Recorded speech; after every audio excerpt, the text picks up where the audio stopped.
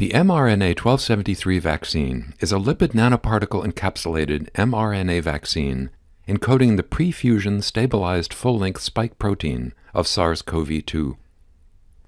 This phase 3 placebo-controlled observer-blinded multicenter trial randomized 30,420 volunteers to receive two intramuscular doses of 100 micrograms of mRNA 1273 or placebo, 28 days apart. The primary endpoint was molecularly confirmed symptomatic SARS CoV 2 infection, with onset 14 days or more after the second dose in participants who had not been infected with SARS CoV 2 before vaccination. COVID 19 illness was confirmed in 185 participants in the placebo group and 11 in the vaccine group. Vaccine efficacy was thus 94.1%. 30 cases of severe COVID 19 illness were noted, none in the vaccine group.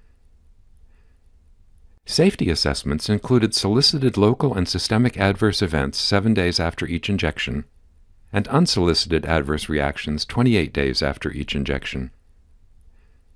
Injection site adverse events occurred more frequently in the vaccine group than in the placebo group. The most common injection site event was pain. Systemic adverse events occurred more often in the vaccine group and more frequently after the second dose. Hypersensitivity events were reported in 1.5% and 1.1% of participants in the vaccine and placebo groups, respectively. The most common unsolicited treatment related adverse events reported within 28 days of injection in 1% or more of participants were fatigue at 1.2% and 1.5% in the placebo and vaccine groups, respectively, and headache 0.9% and 1.4%, respectively. The authors conclude that the mRNA 1273 vaccine demonstrated 94.1% efficacy in preventing COVID 19.